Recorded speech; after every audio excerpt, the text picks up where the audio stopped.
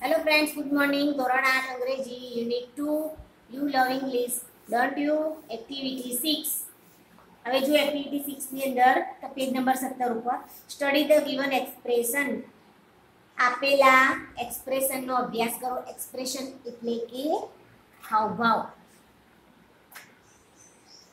you can use them to express your views in favor of something or against something તમે તમારા વિચાર, તમારા દ્રષ્ટિકોણ રજૂ કરવા માટે આ એક્સપ્રેશનનો ઉપયોગ કરી શકો છો. કે ચાહે તમે એ વિચાર કે દ્રષ્ટિકોણની ફેવરમાં હો કે એની વિરુદ્ધમાં હો, તો તમે આ એક્સપ્રેશનનો ઉપયોગ કરી શકો છો.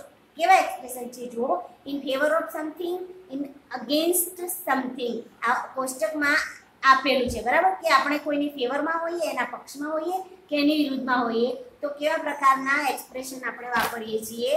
જુઓ, તો ફેવરમાં that's right all right as you wish આપણે જો પક્ષમાં હોઈએ, તો ધેટ્સ રાઈટ તે બરાબર છે ઓલ રાઈટ બરાબર છે એઝ યુ વિશ જેવી તમારી ઈચ્છા.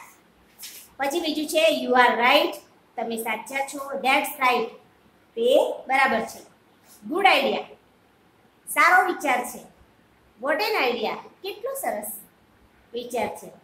દેટ્સ અ ગુડ પોઈન્ટ તે એક સારો પોઈન્ટ છે, સારી બાબત છે. આઈ એગ્રી અથવા તો આઈ એગ્રી વિથ યુ હું સંમત છું. અથવા તો હું તમારી સાથે સંમત છું. આ જે છે એ ફેવરની અંદર આ એક્સપ્રેશન છે કે આપણે કોઈ બાબતે સંમત હોઈએ કે આપણે કોઈ બાબતે વિરુદ્ધમાં નથી એમ. એની સાથે સંમત છીએ તો આ બધા શબ્દો બોલી શકાય છે. કમ્પ્લીટલી એગ્રી વિથ યુ હું તમારી સાથે પૂરેપૂરી રીતે સંમત છું. ઓ યસ અરે, હા. આઈ એન્ટાયરલી એગ્રી હું સંપૂર્ણ રીતે સંમત છું. I think that's a good idea હું માનું છું કે એ એક સારો વિચાર છે. લેટ્સ ચાલો.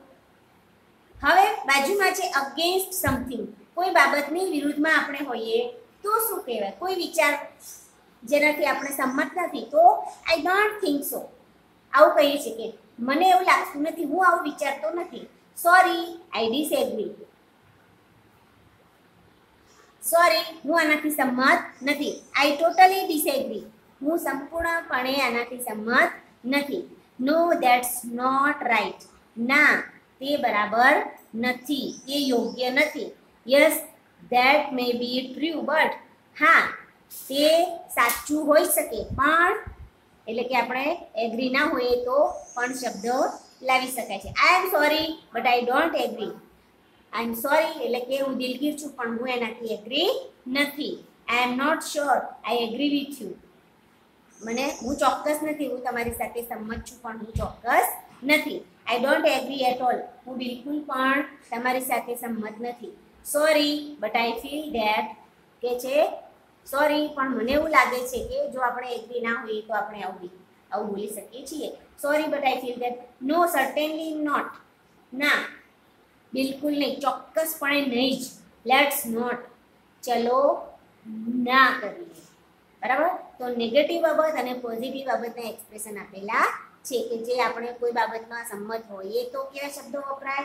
અને સંમત ના હોઈએ તો એવા શબ્દો વપરાય છે, એ અહીંયા આપ્યું છે. અને પછી નીચે થોડાક ડાયલોગ આપેલા છે. એ ડાયલોગ તમે જોશો તો કઈ રીતે આપણે લેંગ્વેજની અંદર આ યુઝ કરી શકીએ એ તમને ખબર પડશે. ઓકે તો એ ડાયલોગ તમે લખી દેજો. Thank you